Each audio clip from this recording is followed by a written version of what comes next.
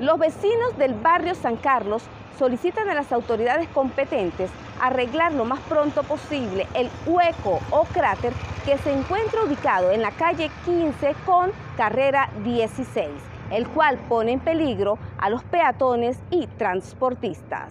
Es para hacer un llamado a las autoridades competentes, alcaldía y las que les competa el arreglo de, de las calles.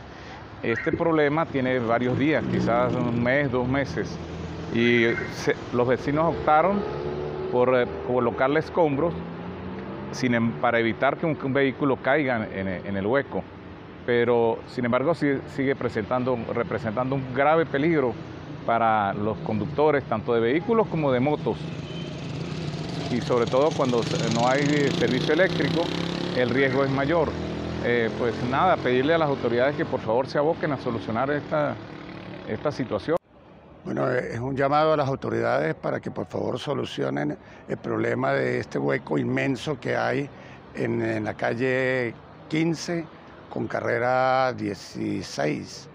Realmente es un peligro para los transeúntes, para los motorizados, para los vehículos y yo creo que de verdad es una esquina importante de San Cristóbal.